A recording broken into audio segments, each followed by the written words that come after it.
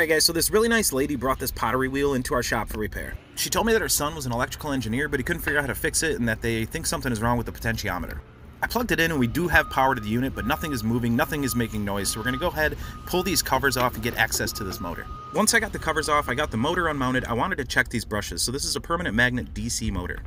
After I pulled the first brush out, I thought these look like they're in pretty good shape, but when I went to remove the brush on the other side, it was stuck in the brush holder and it was not making contact with the commutator.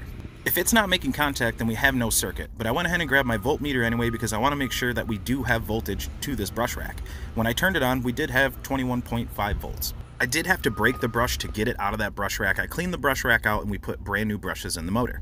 At this point, I wanted to go ahead and test the electric motor by itself without hooking everything back up, and you can see that it's rotating.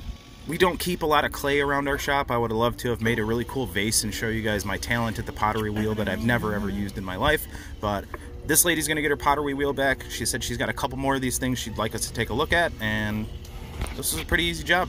Thanks for the follows, comments, any questions, leave them down below. Cheers, guys.